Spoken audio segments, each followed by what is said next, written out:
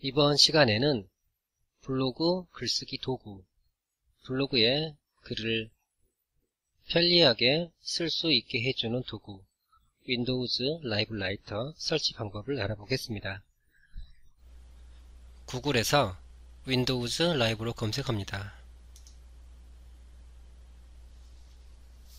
그러면 검색 결과에 Windows 필수 패키지, Windows Live 필수 패키지 다운로드 어, 이게 보이죠? 여기를 클릭합니다. 그 다음에 지금 다운로드를 클릭합니다. 그리고 이 다운받은 파일을 클릭해서 설치합니다.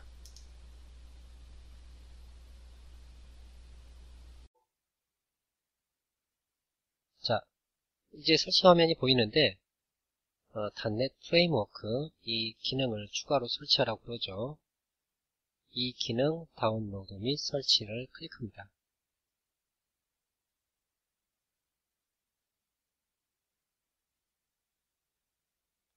어, 이제 단넷 프레임워크가 설치되었습니다. 어, 근데 이 프로그램이 어, 잘 설치되지 않을 수도 있으니까 어, 재시도를 해서 어, 설치를 하면 되겠습니다. 어, 닫기를 클릭하겠습니다.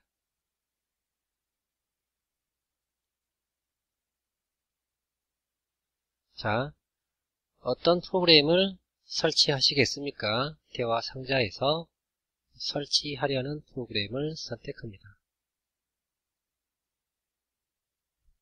이 중에서 Windows Live Writer만 제외하고 체크 표시를 없앱니다. 설치를 클릭합니다. 어, 이제 Windows Live Writer가 설치되었습니다.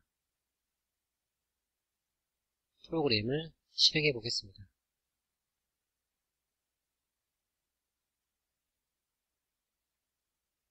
어, 맨 처음에는 어, Windows Live Writer 구성 화면이 보입니다. 블로그 계정을 설정하는 거죠. 다음을 클릭한 다음에 네이버 블로그든 티스토리든 기타 서비스를 선택하고 다음을 클릭합니다. 여기에 블로그 주소를 입력하고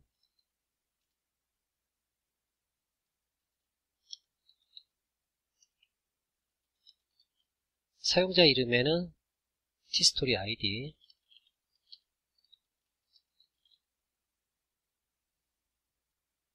암호에는 티스토리 암호를 입력하면 되겠죠.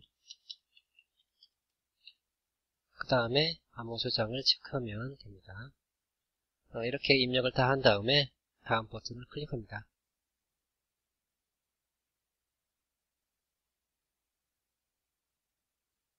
어, 블로그 스킨 다운로드 대화 상자가 보이면 예를 클릭합니다.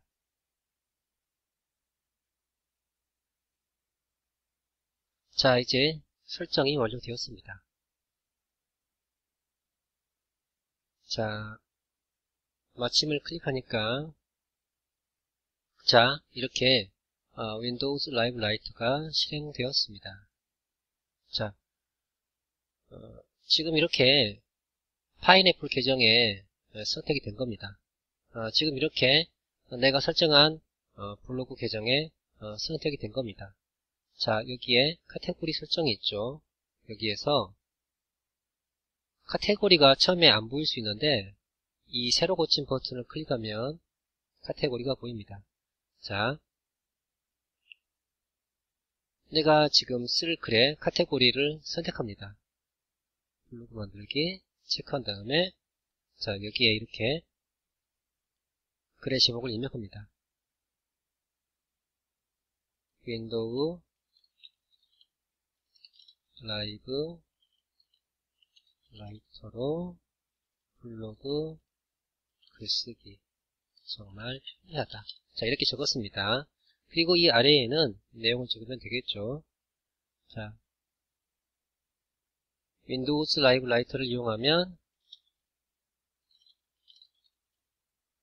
어, 블로그에 블로그에서 쉽게 글을 작성할 수 있습니다. 자, 이렇게 그냥 워드 프로그램을 어, 이용하듯이 글쓰기를 하면 됩니다. 어, 사진을 넣을 때는 여기에 사진 있죠. 사진을 클릭합니다. 자, 컴퓨터에서 클릭한 다음에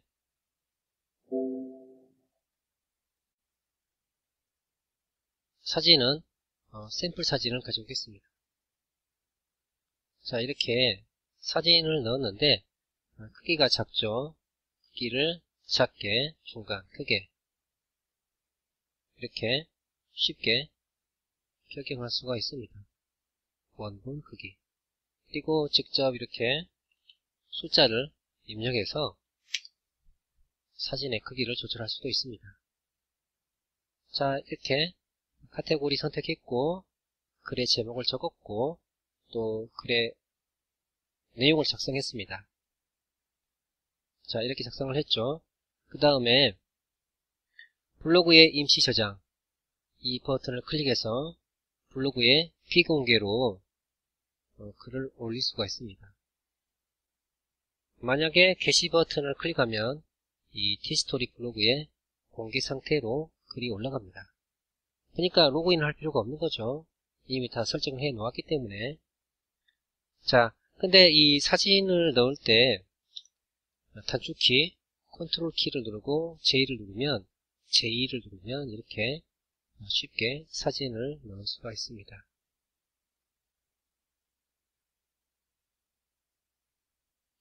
자, 그러니까 어, 블로그 에디터에서 글을 쓰는 것보다 훨씬 쉽죠.